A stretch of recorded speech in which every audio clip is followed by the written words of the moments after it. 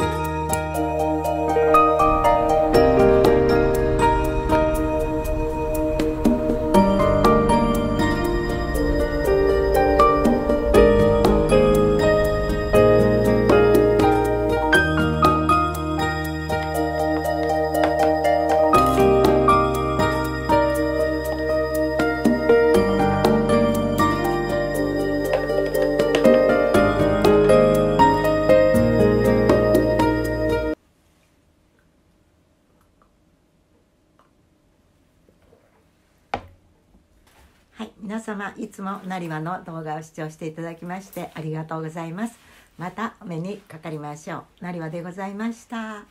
では。